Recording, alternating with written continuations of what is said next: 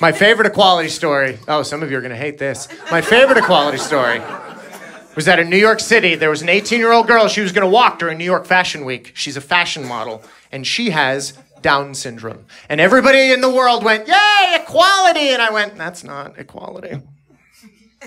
And again, people are just sitting there, oh. Please tell us that's equality. We want to feel like it's equality so bad.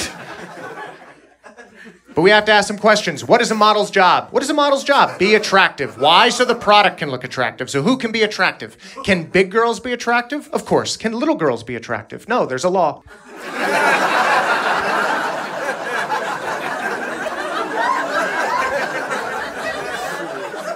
I don't know why you're hesitating on me. There's a law. And if you disagree with me, I will write you letters. In crayon, everybody, yes. Help your friends. I swear to Christ, the punchlines are in there for you to ride on.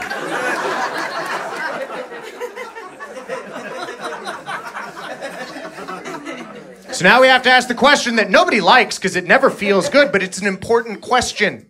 Can the Down syndrome model be attractive? Are you okay with that concept? If we are sitting there at New York Fashion Week, you and me, and she comes down the catwalk, and I look at her, and I look at you, and I go, oh.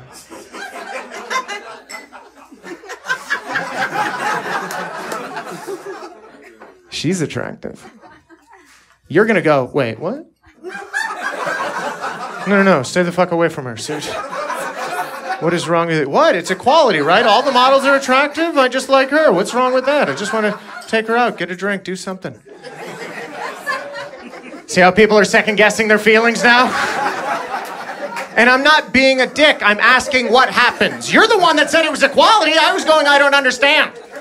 What happens? We're all at a big Hollywood party. Leonardo DiCaprio walks in, his arm around a model. You know, like he does. And then I come in next.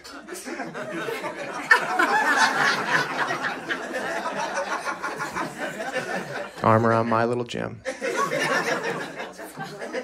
What are you feeling right now? Are you saying, Yay, equality? What happens? That's all I'm asking. What happens? You overhear some conversation. No, honey. No, it wasn't a weird looking dog. No, it wouldn't chase the ball because it was a raccoon. Yeah, we've been over that. They do have cute little hands. When you're right, you're right.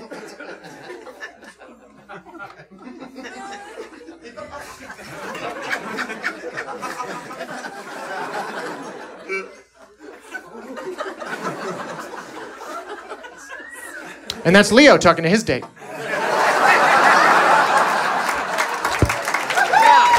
Yeah. And there it was, everybody. There it was. Totally fine when his day is a little slow, but when you thought it was my day that was slow, everybody in here, mm.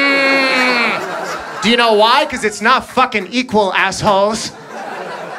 Relax, it's never gonna happen. I'm never gonna date the Down syndrome model, okay? Because I think she's hideous. Now. And there it was. Do you see what's happening? I'm not allowed to like her, and then I'm not allowed to hate her either. Instead, you'd all rather sit in this weird gray area where you go, just don't think about it too hard. Just say equality and get the fuck out.